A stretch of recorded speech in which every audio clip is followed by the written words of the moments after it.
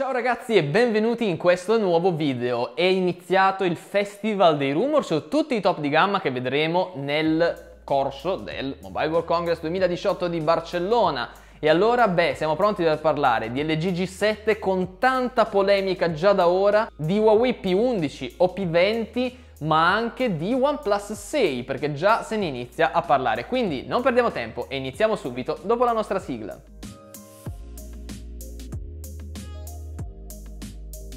Allora ragazzi, la prima notizia è in realtà un'ufficialità ed è la prima di un evento stampa che si terrà al Mobile World Congress 2018 di Barcellona. Ovviamente la prima è sempre Huawei a muoversi e infatti ha annunciato che il 25 febbraio si terrà il eh, suo keynote per presentare, ma indovinate un po' cosa? Secondo me il nuovo top di gamma nelle sue due versioni standard e Plus o Pro, vedremo quante saranno quelle alternative, però insomma Huawei P11, Huawei P20 come vogliamo chiamarlo, sarà presentato con ogni probabilità il 25 febbraio a Barcellona, un giorno prima rispetto all'inizio ufficiale della fiera, proprio da copione. L'evento inizierà alle ore 14, noi ci saremo presso il Centre de... Ah no, questo non è francese, questo è spagnolo, però vabbè il catalano è simile al francese Centre de Conventions Internationales de Barcelona, l'evento si terrà lì, se ci volete raggiungere ci trovate lì, una location insomma che abbiamo visto qualche foto, sembra anche piuttosto cool, Huawei da questo punto di vista non delude mai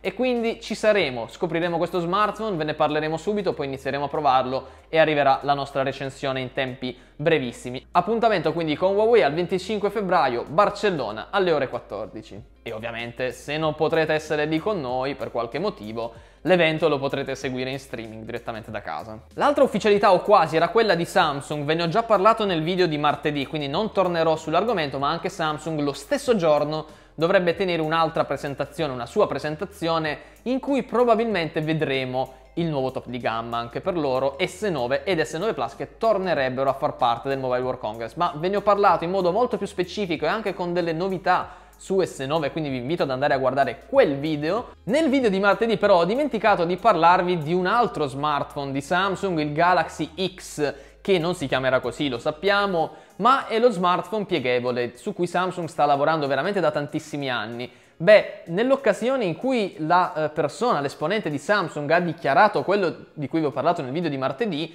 è stato anche confermato che questo smartphone pieghevole non vedrà la luce nel 2018, ma se ne riparla per il 2019 e per il momento quindi c'è comunque una Samsung che ci sta lavorando, vuole perfezionare il software, vuole perfezionare anche l'hardware del dispositivo, farlo funzionare bene per portarlo poi alle masse, ma probabilmente si sono accorti che non ce la faranno in quest'anno e quindi se ne riparla appunto il prossimo. Ma abbiamo atteso tanti anni, dai, cosa cambierà attenderne un altro? Però parlavamo di Huawei, beh, di Huawei P11, addirittura ora si parla anche di un P12, sono apparse le pagine test sul sito ufficiale, infatti come possiamo vedere tramite queste immagini si fa riferimento a due nuovi smartphone proprio chiamati P12 e P11 e qui io non capisco più nulla perché si è parlato quest'anno di P11, di P12, di P20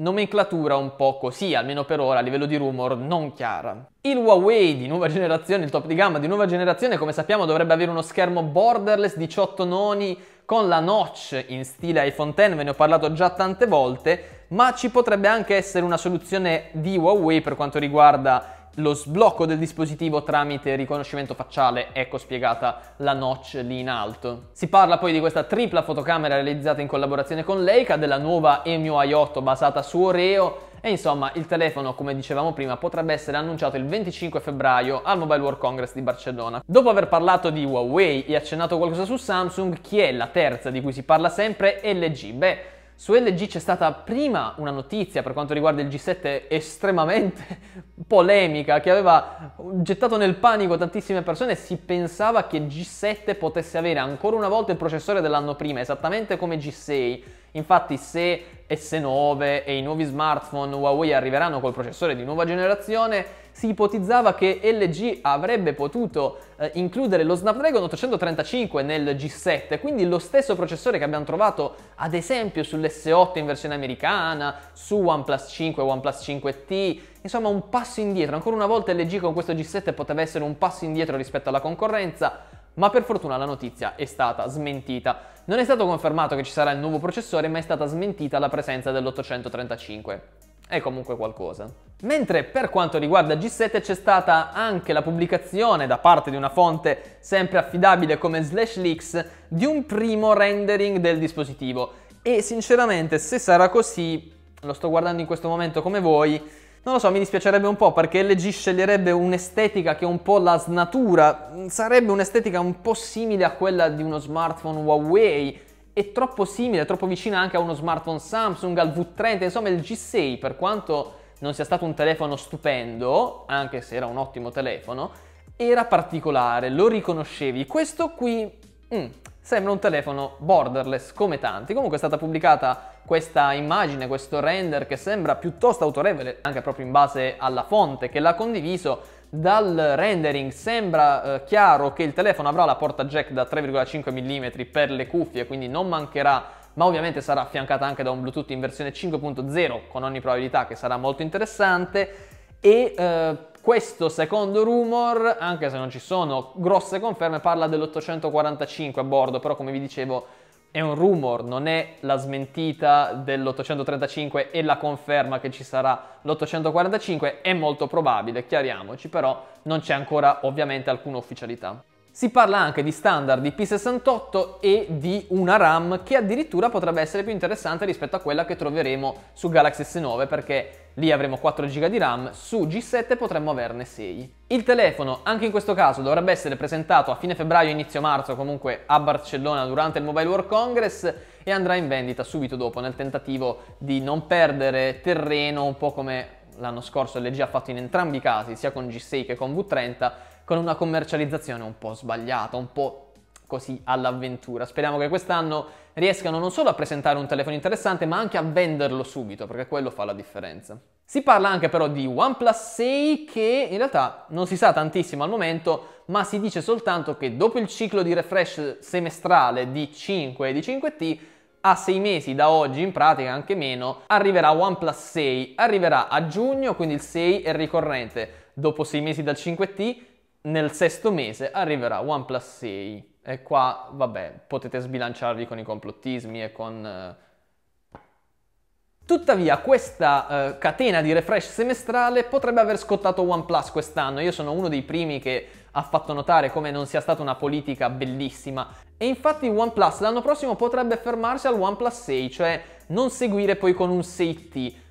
presentare il suo modello di punta a giugno con tutto ciò che deve avere e in particolare in questo caso sembra confermato lo Snapdragon 845 con altre migliorie ma quello sarà il telefono per il 2018 non ne seguiranno altri. E personalmente accoglierei questa scelta con un grosso applauso quindi spero veramente che OnePlus scelga di modificare la sua politica di vendite che quest'anno non è stata forse correttissima nei confronti degli utenti. Si parla tra l'altro della possibilità per la prima volta di vedere un OnePlus 6 in vendita negli Stati Uniti tramite gli operatori telefonici, non sarebbe mai successo eh, in precedenza, quindi potrebbe essere una novità molto interessante per chi vive negli Stati Uniti. E infine per la rubrica ci ne sono i cloni di iPhone X, anche questa settimana c'è qualcosa di interessante da mostrarvi. Questo qui è il Blackview One. Blackview è una marca di cui abbiamo anche provato qualcosina di recente e che ha realizzato forse uno dei migliori cloni di iPhone X perché ha la stessa fotocamera doppia verticale sul retro, ha un retro in vetro e sul fronte, a parte una cornice un po' spessotta nella parte inferiore, sopra ricorda tantissimo l'iPhone X nonostante il notch sia molto più spesso. Il telefono in generale sembra un po' più spesso, ma c'è una notizia molto interessante ormai tutti vogliono avere sto cavolo di Face ID e allora siccome il Face ID come dice qualcuno, non è nulla di nuovissimo ed è vero perché lo sblocco del volto con il volto esiste da tantissimo. Lo sblocco del Face ID però non è proprio quello stesso sblocco del volto. In ogni caso, implementare su Android lo sblocco col volto è semplicissimo, ce l'hanno smartphone dal 2014 o anche eh, precedenti. Quindi questo clone di iPhone X, questo Blackview One, non si fa mancare anche lo sblocco con il face, con il face unlock, insomma. E poi il telefono, vabbè, abbiamo già parlato della doppia fotocamera, ma l'altra notizia interessante è che avrà Android 8.1 Oreo, quindi l'ultimissima versione di Android, che su un cinesone non è assolutamente scontata. Il problema, beh, non, non, conosciamo praticamente nulla della scheda tecnica al momento, se non il fatto che avrà l'USB-C, ma il telefono potrebbe avere un prezzo un po' elevato, si parla infatti di 400 euro e potrebbe così andare a competere in questa gamma dei cinesoni top direttamente con quello smartphone Doggy V di cui vi ho parlato la scorsa settimana. Due cloni di iPhone X che si faranno la guerra da soli, in Cina soprattutto, al modico prezzo di 400 euro. Che bel mondo! Bene ragazzi, quindi questo video finisce qui, io vi invito a lasciare un like se vi è piaciuto, vi invito anche a seguirci sui nostri account social, trovate tutto qui sotto in descrizione. Se invece volete seguire anche me potete seguirmi su Instagram, il mio username è Andrea Cervone, nome e cognome tutto attaccato, mi trovate subito e noi ci risentiamo al prossimo video. Ciao a tutti, alla prossima!